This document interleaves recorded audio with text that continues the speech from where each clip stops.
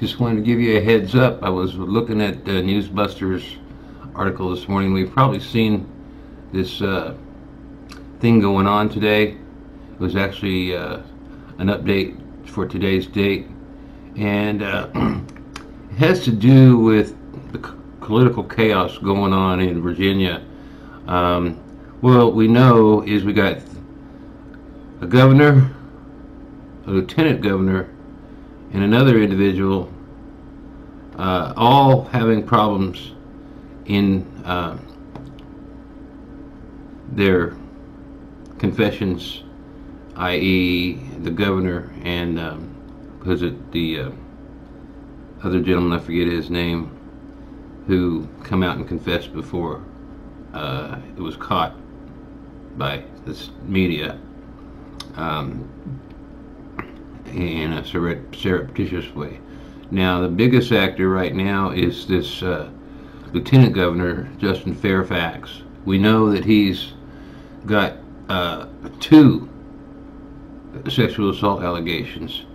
And where I caution all of us about all this is we don't know what we don't know about the Republican GOP, Tea Party, whatever uh, campaigns that are still out there floating around that can have this same kind of thing being discovered by them on them. Uh, this is very dangerous territory. I do think, despite the fact the left didn't want to give any uh, credence to um, Brett Kavanaugh's uh, defense, um, we have to be very careful that the weapons that uh, they use on us uh, this was all discovered. This guy's stuff was all discovered after the fact, or you know, during the course of it, the concern that you know he might be taking place. And I guess it was a conservative blog that found this information, and so it's been you know widely dispersed across the broader broader spectrum here. But we don't want to run into a situation where we start um, trying things in the court of public opinion, which was what was happening with Brett Kavanaugh. Uh, this happens all the time. We know a lot of these people have a track record of doing bad things, like Hillary and Bill and you know others. But we, because the conservative side is generally related more to the Christian side, we want to be very careful we don't put our own selves in jeopardy, like they try to go after Donald Trump and Melanie Trump and uh, Melania, excuse me, and we live in a very dangerous time. That's all I can tell you. We live in a very dangerous time, and when we start going after these people and attacking them, we're to, well, we're to usually end up find ourselves in the same boat on a different part of the ocean. And um, I do think this guy is probably guilty. That's just based on the credibility of the two uh, allegations made by this, the individual women. Um, but I, I, I, just, you know, I wish I had the answers. I wish we all knew the inside scoop on all this from the Lord's point of view. But the Lord doesn't judge, and this is where we get in problems with having kings and, you know, knights and barons over us. Is we have people that have maybe lesser, lesser quality character attributes than we want representing us, and so uh, we I'm sure we have them in the Democrat, in the Republican Party, and uh, it just hasn't been hunted down yet. It's turning into an absolute nightmare. And uh, based on past historical references, I'm thinking it's going to get worse. It may not get better. Now, I was just watching overnight. I was watching a uh, video with uh, Mark Taylor, and um, he he still and I don't know. I'm not God, and I didn't give him messages. And you know, I, he has a lot of hopeful things to say.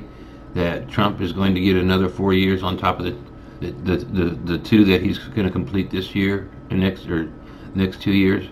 He will be strongly reelected, and he is going to solve our financial problems.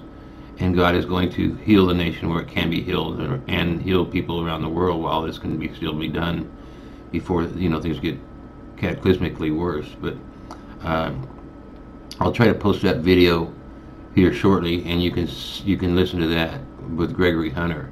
Anyway, uh, to follow on with this story, I and I, there's a lot more of these I want to do, but um, uh, Chuck Todd, who who we all know is uh, not a darling of the of the conservative realm, he he actually cautions about going too far here now that you know this guy has been caught, and uh, um, he didn't believe that there was a good outcome for, for to be had for Brett, but look what happened to Brett. So